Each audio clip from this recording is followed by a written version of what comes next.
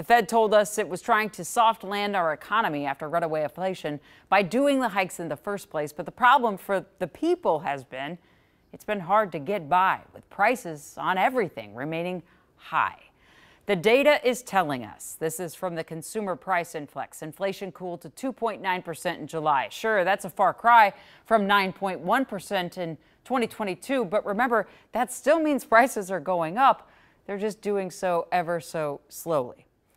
Just think about this. If you break out just groceries, according to the U.S. Bureau of Labor Statistics, the cost has grown at least 20% since 2020 and most of us haven't gotten a 20% raise.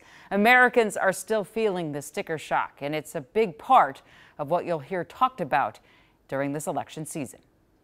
My plan will include new penalties for opportunistic companies that exploit crises and break the rules. That was Vice President Harris speaking at a rally last week on her ideas to ease your economic pain by promising to cut the cost of everything from food to housing and prescription drugs.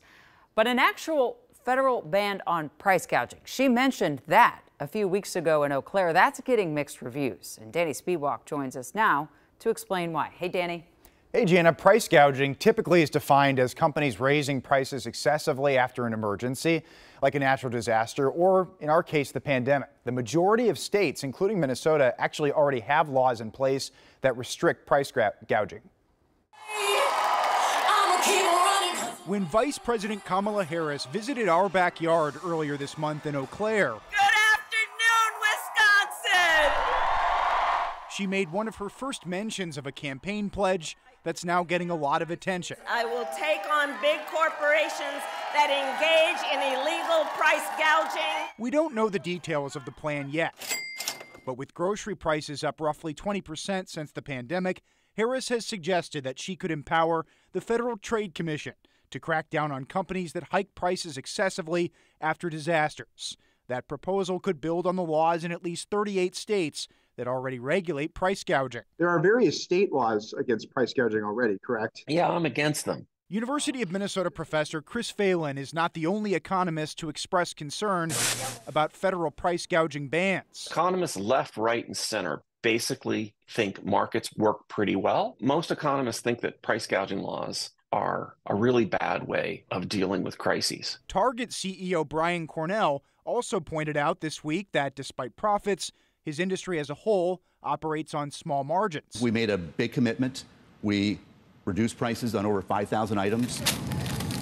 Those items that are most frequently purchased. And I think the consumers recognize that. On the campaign trail, former President Trump has accused Harris of proposing a communist style economy. A radical left person wants to put price controls all over the place. But the Harris campaign and her allies have tried to clarify that they're more focused on companies that are actually price gouging. I think we have to, number one, expose it, as I have, but also take action against it. I want to pass a price gouging bill so we can hold them accountable. Overall, the Harris campaign's price gouging proposal may be aimed at swing state voters who remain frustrated by high food prices.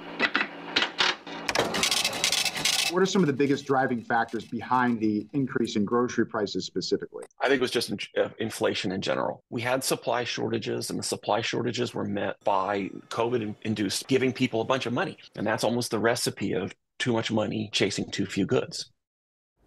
I mentioned Minnesota is one of the many states in the U.S. that has a law at the state level against price gouging that is actually relatively new here. Governor Tim Walz, of course now running mate to Harris, signed that bill in 2023 to prevent price gouging on food, fuel, and other essentials after what was termed a market disruption. Jana. Yeah, and that kind of goes with what The Economist was saying, right? There was a surge with people getting that pandemic money they were trying to buy, and so we could be taken advantage of pretty easily as consumers. Mm, a lot of complicated factors that play into inflation and, and food prices, unfortunately. All right, Danny, thanks so much. We'll hear a lot about that on the political trail for certain.